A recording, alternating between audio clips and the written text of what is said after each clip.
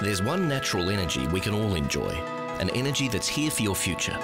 That energy is Western Australia's natural gas, and ATCO Gas is bringing it to your home, thanks to the largest gas pipeline network in WA.